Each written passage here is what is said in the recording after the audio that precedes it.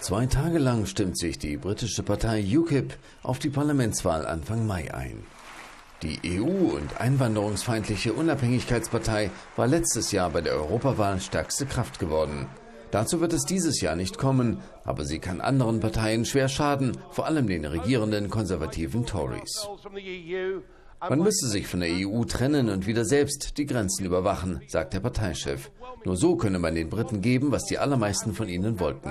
Für die Entscheidung über die Einwanderung wolle man ein Punktesystem wie in Australien.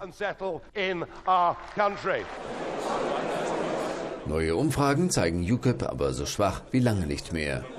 Außerdem macht es das britische Wahlrecht kleineren Parteien schwer, Parlamentssitze zu erobern.